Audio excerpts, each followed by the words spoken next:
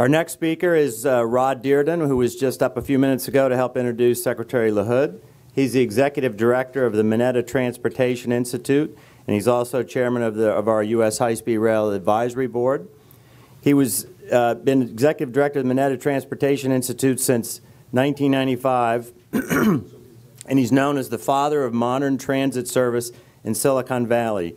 And he has a train station named after him, which I think is a great honor. And we're happy to have you here, Rod Diridon.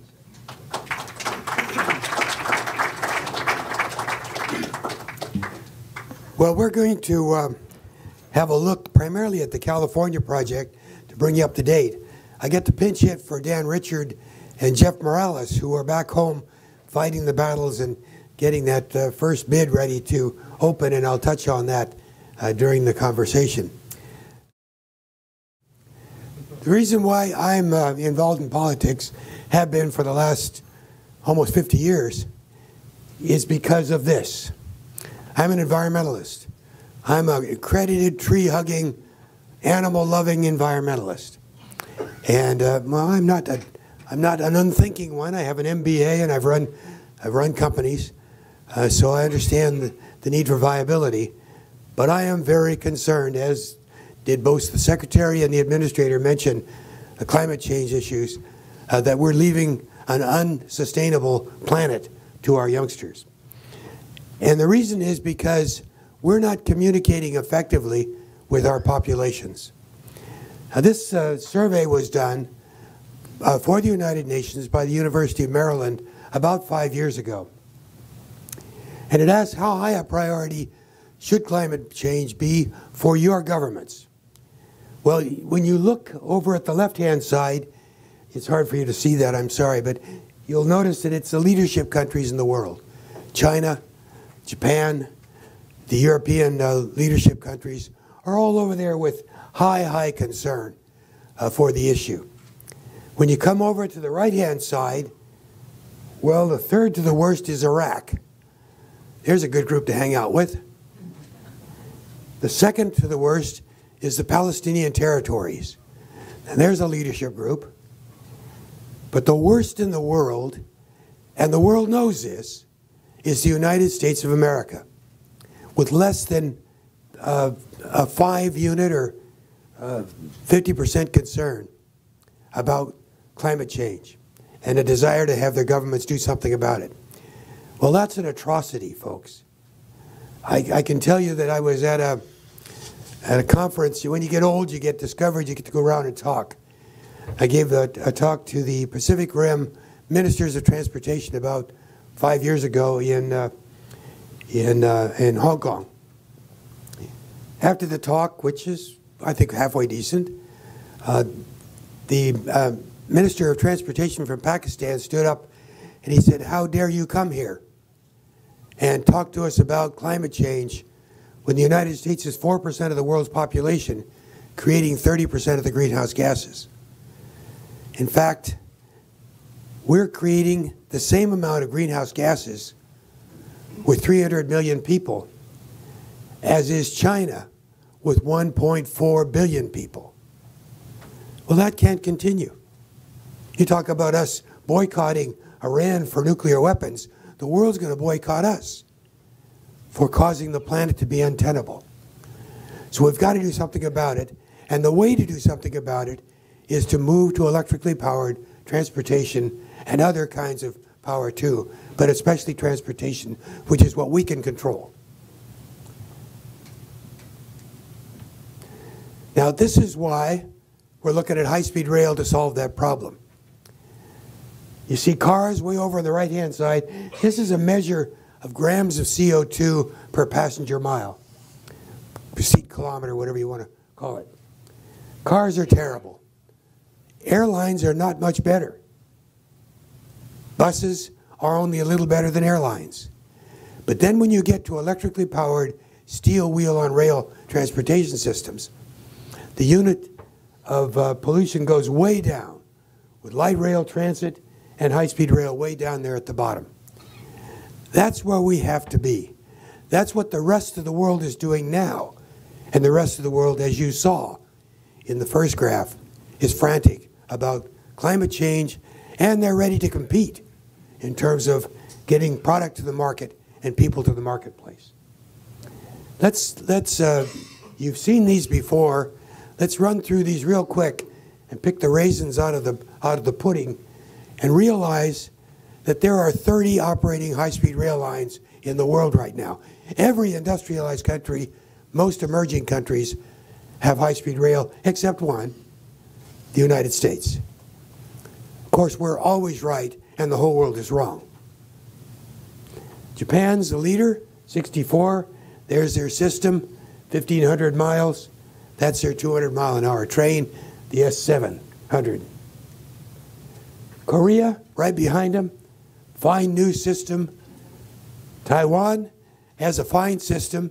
they made the mistake of creating their stations out in the farmlands, so they're not carrying a, a payload yet, but they're rapidly densifying around those stations, and they have the core of a wonderful, uh, profitable system in the future. That's their look. That's about San Francisco to LA. Hmm. That's their 200 mile an hour train.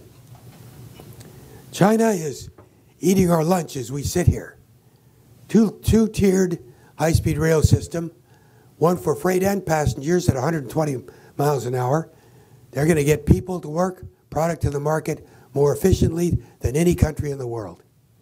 And then the 360 kilometer per hour true high speed rail, and they're up to 8,000 kilometers of that built in the last 10 years while we sit around counting our toes. That's the, the Chinese rail system, over 100,000 kilometers, double uh, phased, two different tiers, and all being converted gradually to electric power. That's their true high speed system on the East Coast. Europe, that's what their 2020 system is going to look like, and much of that is done now, especially down in Spain. Now, we're told that Spain is on the verge of bankruptcy.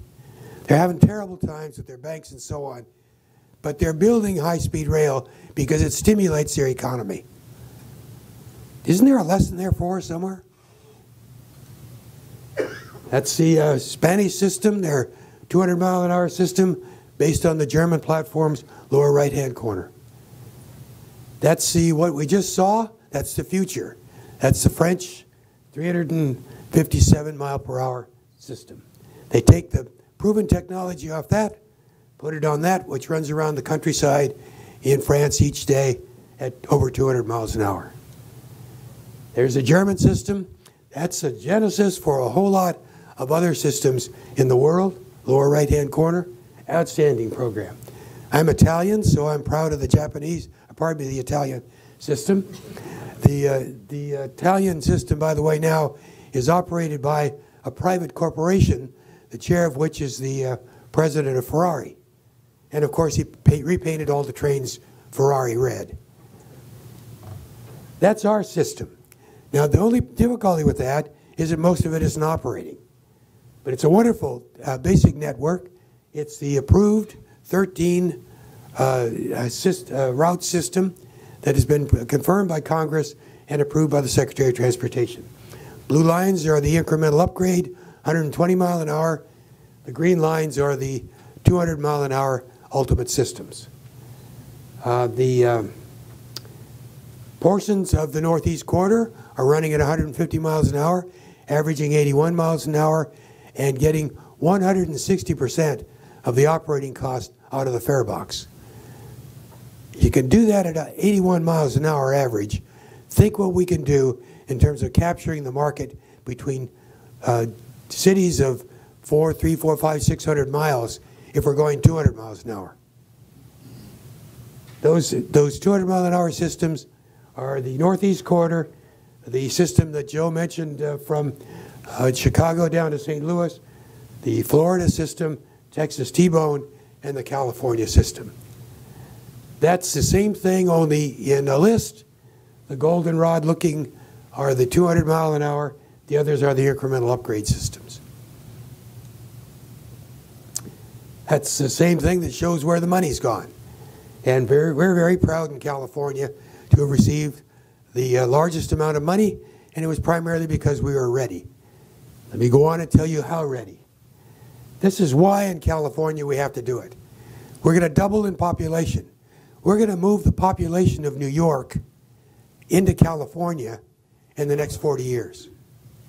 You can imagine how uncomfortable that's going to make California unless we do something dramatic regarding getting people to work and product to the market. 96, we created the High Speed Rail Authority, five from the governor, two from the Assembly, two from the Senate. It spent over a billion dollars now doing the largest environmental evaluation preliminary engineering in the history of the United States. Uh, the uh, environmental progr uh, program level environmental is certified. Project level environmental is being certified now, and the first project will go under construction in June of this year. That's the route. Uh, the early construction will be in that area from uh, Merced down to Bakersfield, and that will be about $6 billion, with the first element of that ready to open in the next month.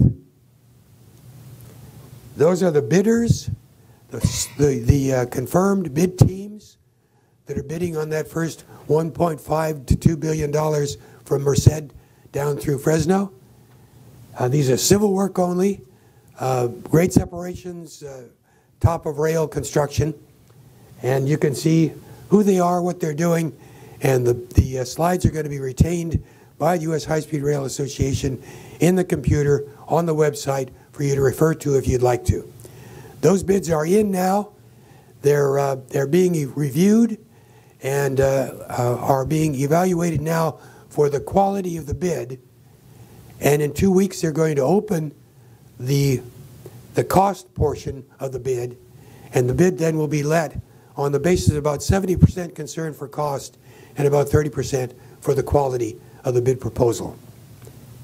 And then there will be uh, five of those bids in succession from Merced down to Bakersfield, one and a uh, half a billion to a billion dollars each, with the ultimate uh, bid being for railing the whole thing, putting in the ties and rails uh, from uh, Merced down to Bakersfield. That $6 billion will be the first construction on what ultimately will be a $68 billion construction project from uh, Anaheim to San Francisco. And then an additional 30 billion will be added to that as we go on down to San Diego from LA and up to Sacramento from Merced.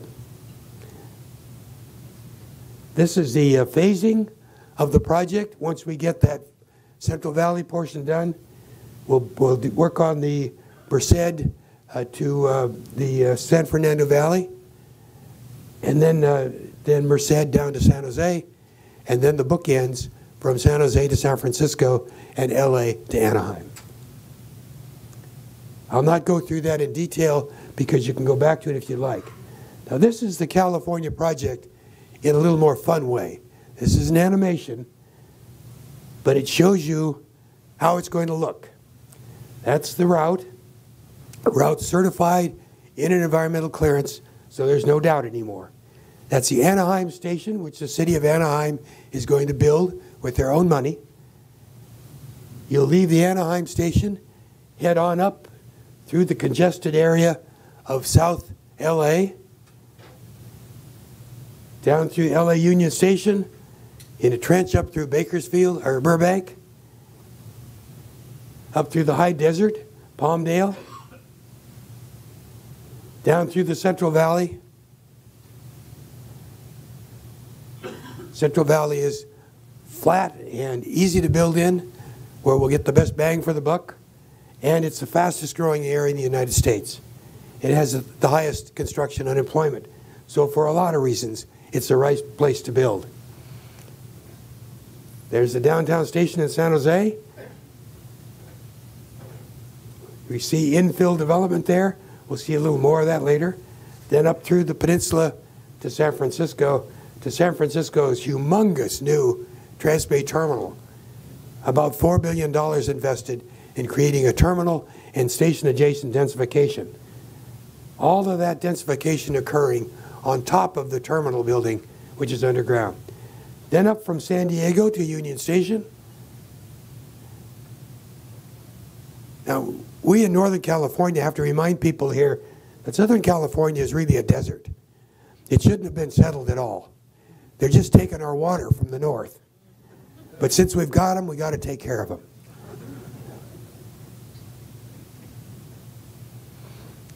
So it ties together an area which is now at a, just a little over 40 million people that will be almost 70 million people by the turn of the century. That's Fresno, infill development. Then up through Merced, Stockton, and into Sacramento, the state's capital. That's their station, which is going to be surrounded on the old Southern Pacific main rail yard with infill development. Now, I want to show the animation of what's going to happen at one of the 26 stations on the California system. This is what's there now at the downtown Diridon station. We already have four commuter rail, three commuter rail and Amtrak service. We already have light rail going in a tunnel under the station. And then we're going to see the uh, new station go in over the top for high-speed rail. We're going to see commuter rail, the Caltrain commuter rail, and the light rail, high-speed rail system. In a, it'll probably be a different system uh, station than that, but something like that.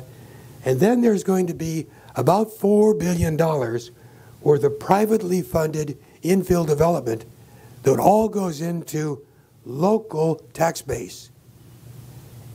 And a BART line will go under all of that at about 100 feet. So you'll have four levels, BART, light rail, commuter rail, and high-speed rail stacked up on top of each other with an interconnect, as we'll see now, to the airport. Now this is what's planned in the, in the South Bay area in terms of interconnect. And this is where the Mineta Institute studies are going now. That's commuter rail. We have another intercity commuter rail that goes on up through Oakland to the state, uh, state capital in Sacramento. Then we have BART, which is there now. Then we have BART under construction now to the downtown station. Then we have light rail built now, built now, under construction. That'll be about ultimately 140 miles of electrically powered light rail focused on the downtown station, feeding in and out of the downtown station and the airport. Now, this is funded through half cent sales tax voted by the people of Santa Clara County or Silicon Valley. Buses are all, all over the place. Can't show the routes because they're too dense. High-speed rail. You can see that the high-speed rail station feeds right in to the airport.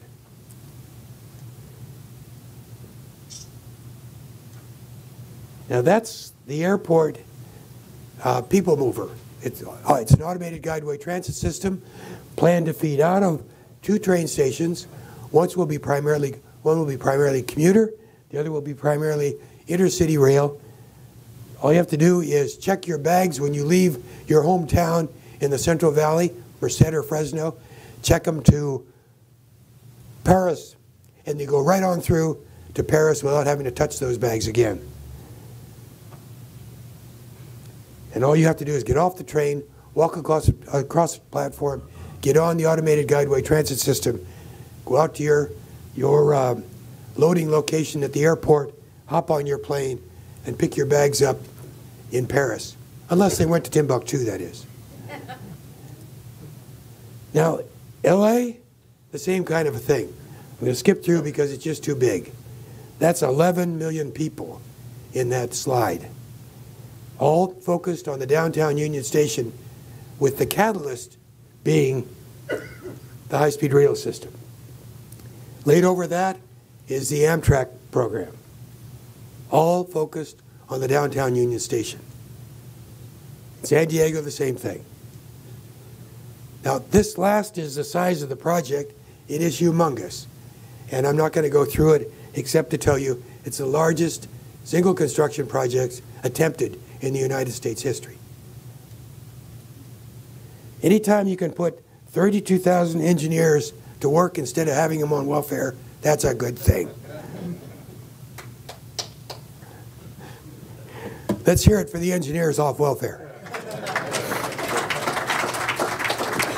Let me end my comment by saying that, um, as the secretary and administrator mentioned, it takes vision, and then it takes people saying what the vision is over and over again. In the 1930s, people began talking about a Golden Gate Bridge in California. Everybody was against it. The mayor of San Francisco was against it. The governor was against it. Many of the legislators, Sierra Club, no, you can't put a bridge, bridge across that. Costs way too much money. No, don't want to do that. Well, a few people kept at it. There was no money for it. Few people kept at it.